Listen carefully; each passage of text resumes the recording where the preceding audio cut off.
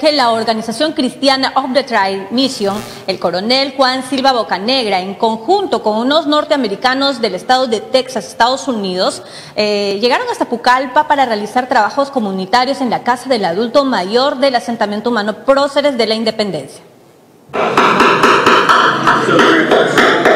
Grupo de jóvenes ciudadanos del estado de Texas de Estados Unidos llegaron hasta Pucallpa para participar de varios trabajos comunitarios que son encabezados por la organización cristiana Onda Tribe Mission y el coronel Juan Silva Bocanegra. Los ciudadanos norteamericanos llegaron hasta el asentamiento humano Próceres de la Independencia, donde hace varios días vienen desarrollando trabajos de mejoramiento de la casa del adulto mayor. Um, gracias a Dios para sus corazones y su tiempo.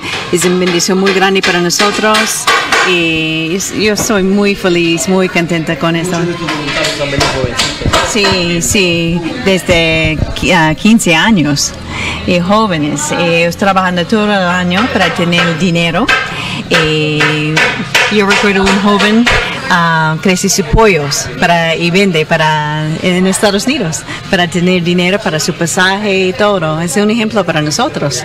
Según explicó Silva Bocanera que este trabajo lo vienen realizando desde hace 10 años, pues resulta que un grupo de jóvenes voluntarios llegan desde el extranjero para prestar servicio a la colectividad. Esta vez fue la casa del adulto mayor del proceso de la independencia, donde los jóvenes iniciaron el trabajo, pues estos con sus propias manos y recursos se viene encargando de mejorar y ampliar dicho lugar. Mucho gusto y realmente es un honor para nosotros eh, por, ya por 10 años consecutivos, sobre todo en el mes de julio, que nuestros hermanos de Texas han llegado acá a Pucallpa, directamente a Pucallpa, para apoyarnos, como siempre lo hacen, en la construcción de diversas instalaciones. Y el día de hoy se inicia la construcción, la segunda fase de la construcción de la Casa Adulto Mayor de Proce de la Independencia, y eso gracias, y no lo me voy a cansar de agradecer a Kimberly y a las gestiones que hace Obstetrical Mission,